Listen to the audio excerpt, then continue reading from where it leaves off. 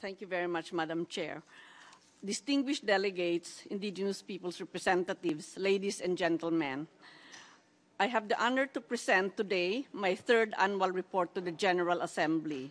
I would like to start by expressing my gratitude to the numerous states, indigenous peoples, and others, in particular the Office of the High Commissioner for Human Rights, for the support they have provided me, uh, provided as I have entered and carried out my mandate. Over the past year, I have engaged in a range of activities within my mandate. The various activities have, I have carried out can be described as falling within four interrelated areas of work. I undertake thematic studies, conduct country visits, promote good practices, and address communications to governments on alleged cases of human rights violations. In this presentation to the General Assembly, I will focus on my thematic, thematic work and refer to my three country visit reports from the past years. In my thematic report, which I am presenting to the General Assembly today, it's contained in A slash 71 slash 229. I have chosen to explore how conservation measures affect indigenous peoples, while protected areas for conservation have the potential of safeguarding the biodiversity for the benefit of all humanity, these have also frequently been associated with human rights violations against indigenous peoples in many parts of the world. The establishment of national parks and conservation areas has result, have resulted in serious and systematic violations of indigenous peoples' rights through expropriation of their traditional lands and territories, forced displacement, and killings of their community members, non-recognition of their authorities, denial of access to livelihood activities and spiritual sites, and the subsequent loss of their culture, Indigenous peoples who have been evicted from their traditional lands suffer marginalization and poverty and are commonly excluded from redress mechanisms and reparation for the harm they have endured. I deeply regret that I continue to receive complaints about violations against the rights of indigenous peoples in the name of conservation. In my report, I charted the favorable legal developments as well as the commitments and resolutions taken to advance a human rights-based approach to conservation. I have, however, I have found that practical implementation and advancement of this human rights-based approach remains sorely lacking. The report presents recommendations on how indigenous people's rights can be better protected in conservation policy and practice. Madam Chair, traditional indigenous territories encompass around 22% of the world's land surface, and they coincide with areas that hold 80% of the planet's biodiversity. There is increasing recognition that ancestral lands of indigenous peoples contain the most intact ecosystems and provide the most effective and sustainable form of conservation past conservation practices were characterized by the failure to consult with indigenous peoples when government authorities decided to declare protected areas. Government decisions to declare areas protected were motivated not only by an interest to protect nature, but also to promote tourism to such areas. The traditional lands of indigenous peoples are being declared protected, for the purposes of conservation at a rapidly increasing rate. Current estimates indicate that 50% of protected areas worldwide have been established on lands traditionally occupied and used by indigenous peoples, and in some regions, this territorial overlap is higher, such as in Central America, where it reaches around 90%. excuse me. In this regard, it is important to underline that studies have demonstrated that the territories of indigenous peoples who have been given land rights have been significantly better conserved and protected against deforestation than the adjacent lands. In practice, however, in, for indigenous peoples, the consequences of declaration of protected areas commonly entailed expropriation of their traditional territories and loss of land rights, as well as their exclusion from management and territorial governance. the loss of guardianship of indigenous peoples has often placed their lands under the control of government authorities who have lacked the capacity and political will to protect the land effectively. It is particularly disconcerting that in many countries where indigenous have not, peoples have not been awarded land rights over their traditional territories, there are increasing incursions of extractive industries, agribusiness expansion, and mega infrastructure development, even inside protected areas. Madam Chair, while there is an increasing evidence that indigenous peoples' traditional lands and territories hold highly preserved ecosystems and biodiversity rates, the important role played by indigenous peoples as environmental guardians still fails to gain due recognition. According to the United Nations Environment Program, World Conservation Monitoring Center, in 2014, only less than 5% of protected areas worldwide are governed by indigenous peoples and local communities. Under international human rights law, indigenous peoples have the right to self-determination, land rights, and to participate in decisions affecting them, such as the establishment and management of protected areas. States should recognize and protect the rights of indigenous peoples to own, develop, control and use their communal lands, and to participate in the management and conservation of the associated natural resources. The UN Declaration on the Rights of Indigenous Peoples, which consolidates the individual and collective rights of indigenous peoples already recognized in other human rights instruments and jurisprudence, affirms the right of indigenous peoples to own and control their lands and makes specific reference to conservation in Article 29, which states that indigenous peoples have the right to conservation and protection of the environment and the productive capacity of their lands or territories and resources, and that states shall establish and implement assistance programs for indigenous peoples for such conservation and protection without discrimination.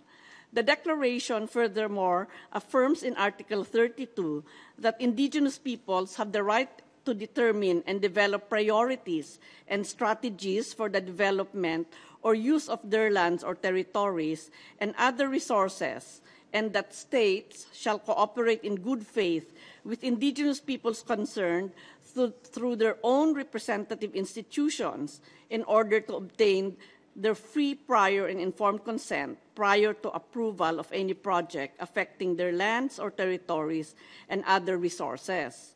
Under international environmental law, all 196 states parties to the Convention on Biological Diversity have agreed that the establishment, management, and monitoring of protected areas should take place with the full and effective participation of and full respect for the rights of indigenous peoples. They have also set targets, which include global expansion of protected area coverage to at, le at least 17% of ter terrestrial and inland water areas and 10% of coastal and marine areas by 2020. This further underlines the importance that states and conservation organizations implement measures to recognize the rights of indigenous peoples as a matter of priority. At the global level, protected areas policy is shaped by the International Union for the Conservation of Nature, since 2003, IUCN has committed to promote that all protected areas be managed with the participation of indigenous representatives in compliance with the rights of indigenous peoples and that mechanisms be established for the restitution of indigenous peoples' traditional lands and territories that were incorporated in protected areas without their free and informed consent. The majority of the large conservation organizations have adopted specific policies on indigenous people's rights, and several have developed specific guidelines on how to implement free, prior, informed consent in their projects. However, these policies have been slow in transferring from paper to practice. In view of the powerful position conservation organizations hold vis-a-vis -vis authorities in countries with weak rule of law, I call on conservation organizations to use their leverage more affirmatively in order to influence national authorities and advocate for legal and policy shifts in countries which still fail to recognize indigenous peoples' rights, notably by supporting legislative reform, the application of free prior informed consent, and the restitution of ancestral lands of indigenous peoples. Furthermore, conservation organizations should ensure that indigenous peoples participate equally in the management of protected areas and that all conservation measures include continuous joint monitoring of how they comply with standards protecting indigenous peoples' rights. Deficient national recognition of indigenous peoples' rights continues to be the main obstacle which blocks the important contribution of indigenous peoples in conserving biological diversity and their participation in conservation efforts. I urge states to critically review their policy and legislative framework for the full recognition of the rights in, of indigenous peoples over their lands, territories, and resources as enshrined in international human rights law. Protected areas often overlap with World Heritage Sites and have, in numerous instances, been declared without consultation with indigenous peoples, with subsequent serious negative impact upon their rights. I urge UNESCO to ensure that respect for indigenous peoples' right to free, prior, and informed consent is obtained prior to World Heritage listing of protected sites. Madam Chair, in conclusion, rights-based conservation measures continue to be hampered by the legacy of past violations and by the lack of recognition by states of indigenous peoples' rights. Conservation organizations and indigenous organizations could be powerful allies in their mutually sh shared goals to safeguard biodiversity and protect nature from external threats such as unsustainable resource exploitation. Protected areas continue to expand, yet threats against them from extractive industry, agribusiness, energy and infrastructure projects are also increasing, and thus the urgency to address effective collaborative and long-term conservation is of paramount importance. The escalating incidence of killings of indigenous environmentalists further underlines the urgency that conservationists and indigenous people join forces to protect land and biodiversity from external threats. I had the privilege of being invited to present this report before the IUCN World Conservation Congress, which was held in Hawaii in September this year. I welcome the news from IUCN that important resolutions were adopted by the Congress, which took into account some of the recommendations I made in my report, including on the need for safeguarding indigenous lands, territories, and resources from unsustainable developments by encouraging that governments work with indigenous peoples to create, create institute, and enforce legal and management regimes and to enhance accountability and improve governance in order to avoid, avoid interventions that negatively impact on the rights of indigenous peoples. Further resolutions were adopted recognizing the overlap between protected areas and territories conserved by indigenous peoples and local communities and on improving the participation of in indigenous organizations in the structures of the, U of the IUCN. I briefly wish to refer to the thematic I presented to the Human Rights Council last month, which was the second of three reports that I will dedicate to international investment agreements and their impacts on indigenous people's rights. Last year, my report to the General Assembly sought to address the impact of the international investment regime in the con context of indigenous people's rights. My report to the Human Rights Council this year further contextualizes and analyzes these impacts and presents a number of recommendations aimed at guiding member states, the UN system, and actors involved in the international investment law regime. My report seeks to promote coherence across international investment law and international human rights law and ensure that the responsibility of states pertaining to the rights of indigenous peoples is not obstructed by protections afforded to investors.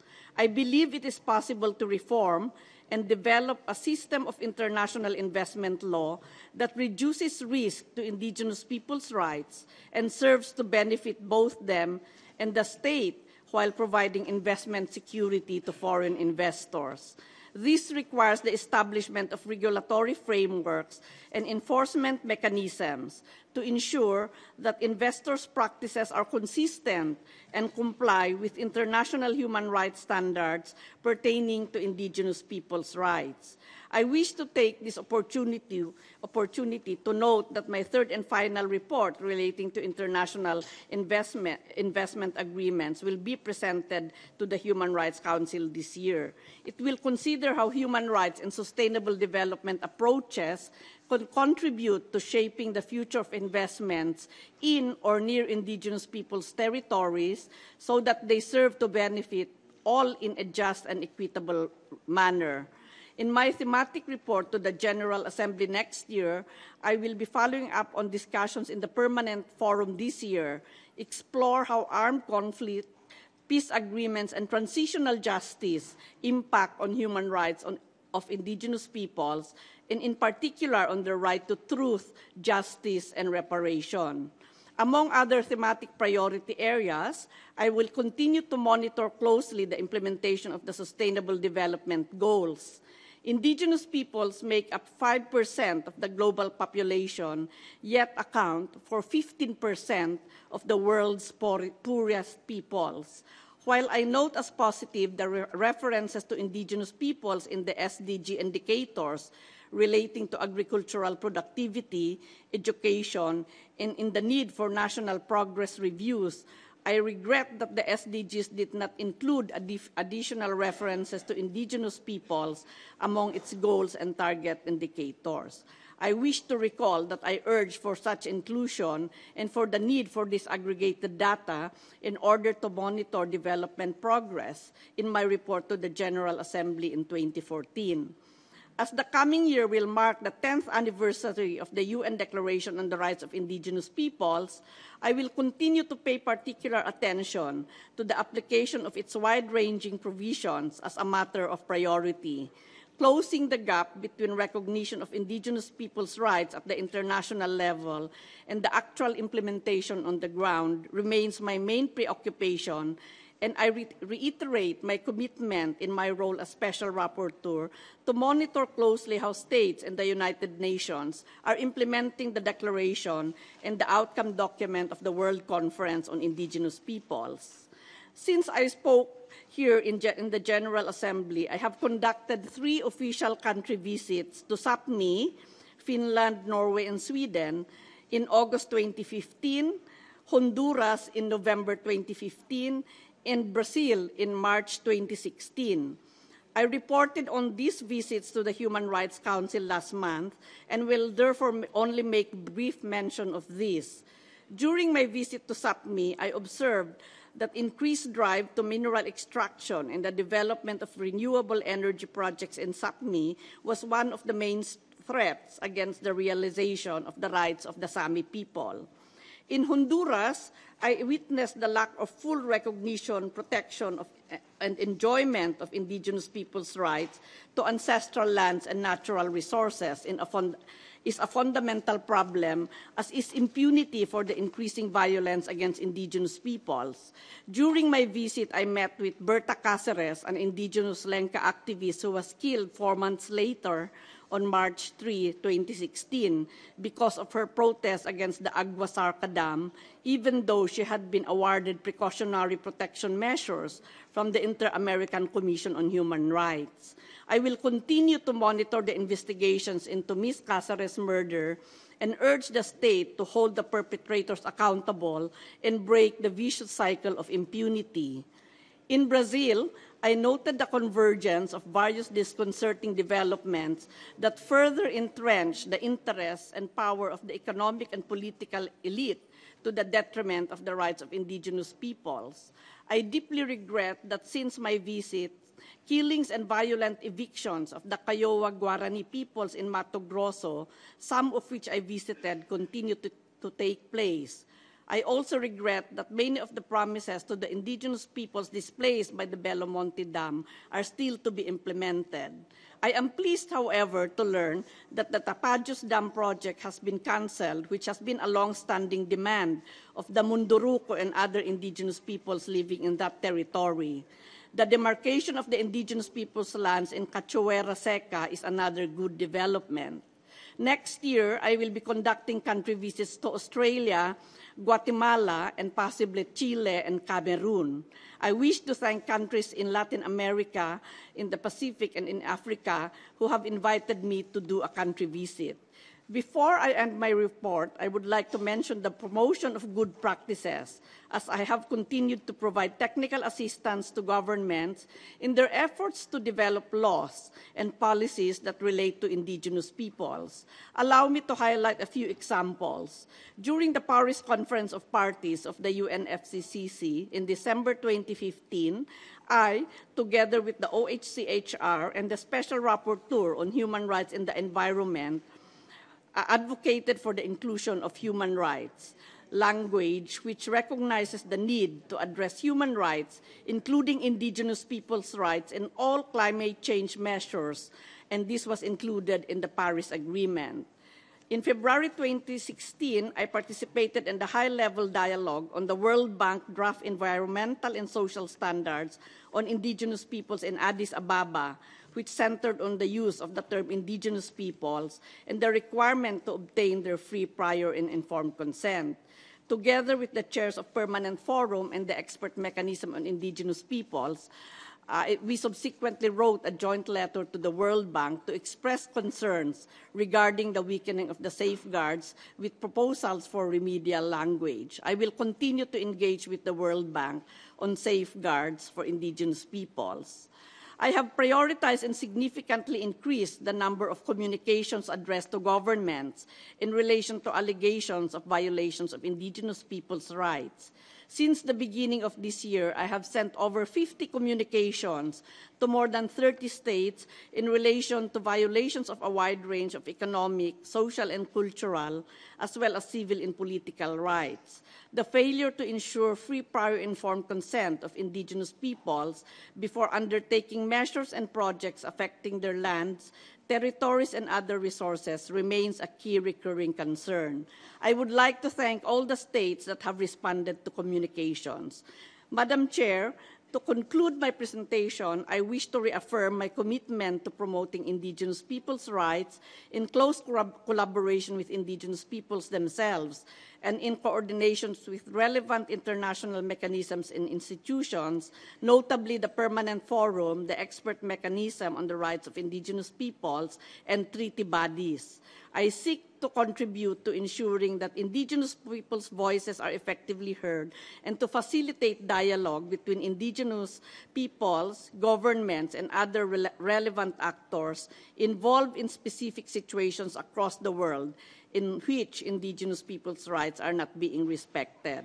I reiterate my pledge to address the human rights challenges brought to my attention and to be proactive in efforts to prevent such situations from arising or escalating. I thank you all for your attention and look forward to our discussion.